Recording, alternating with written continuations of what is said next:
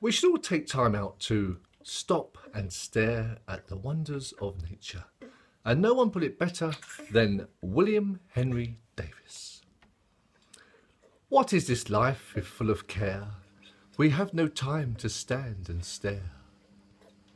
No time to stand beneath the boughs and stare as long as sheep or cows. No time to see when in woods we pass, where squirrels hide their nuts in grass. No time to see in broad daylight, streams full of stars like skies at night. No time to turn at beauty's glance and watch her feet, how they can dance. No time to wait till her mouth can enrich the smile her eyes began. A poor life this if full of care, we have no time to stand and stare.